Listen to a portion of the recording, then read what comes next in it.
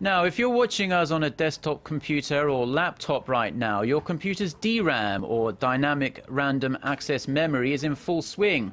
As the trend moves more and more towards mobile computing, the DRAM market has adapted with the times, and two Korean companies are at the forefront.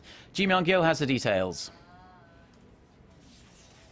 The explosive growth of the global smartphone and tablet PC market has caused demand for mobile DRAM or dynamic random access memory to skyrocket. As smartphones fly off the shelves in greater numbers in China and throughout the world, mobile DRAM chips have become the next cash cow business. In the first three months of this year, Samsung produced half of the world's mobile DRAM chips, shipping nearly 1.2 billion around the globe.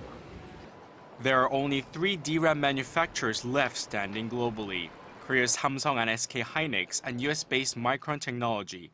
Market analysts say the price of memory chips will be less volatile going forward, as the number of DRAM suppliers have dwindled from 15 to the current three over the years.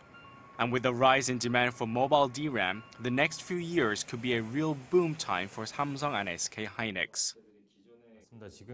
Korean DRAM chip makers will continue to flourish because the market is less competitive these days. That has lowered the risk of oversupply, thus reduced the possibility of decrease in chip prices.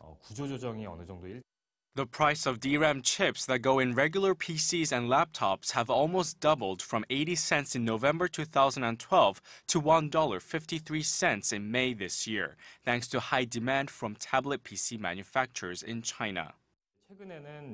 Tablet PC manufacturers must use mobile DRAM chips to lessen the power consumption of their devices, but Chinese manufacturers are opting for cheaper PC DRAM chips, as they are much cheaper than mobile chips.